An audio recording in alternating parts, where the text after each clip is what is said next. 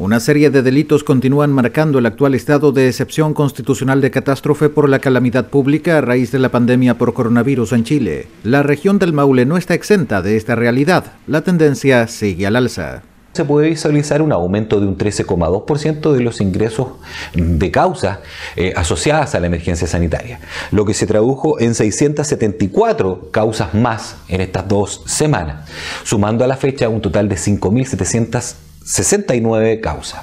La Fiscalía de Curicó presenta 1.546 causas, mientras que la Fiscalía de Talca acumula 1.047, seguida por la Fiscalía de San Javier con otras 639 causas. En conjunto, concentran el 56% del ingreso de denuncias por quebrantamiento de las normas impuestas durante la emergencia sanitaria, a nivel regional. 5.053 causas corresponden a incumplimientos del toque de queda.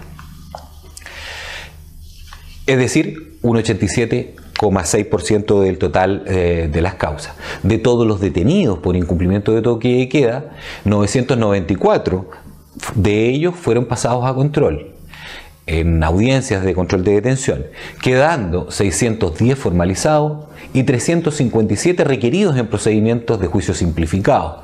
53, 53 eh, de estos imputados quedaron en prisión preventiva y un menor en internación provisoria. En estas audiencias se decretaron además 536 medidas cautelares acerca de la filtración de datos personales de aproximadamente 50 pacientes infectados o bajo sospecha de COVID-19 ocurrido a fines de marzo, nuevas indagatorias se han sumado. Las mismas se encuentran en plazo vigente de ejecución a cargo del fiscal de Talca, Héctor de la Fuente. En estos días se ha llegado información y documentación por parte de los organismos de salud que habían sido requeridos por, el fiscal. Es importante señalar además que se sumó una nueva querella a la carpeta investigativa, eh, presentada hace un par de semanas por los mismos afectados, lo que ha dado pie además a nuevas eh, diligencias. Una serie de hechos que marcan infracciones durante la pandemia por COVID-19 en la zona. Aspectos que fueron dados a conocer en un nuevo balance desarrollado por la Fiscalía Regional del Maule.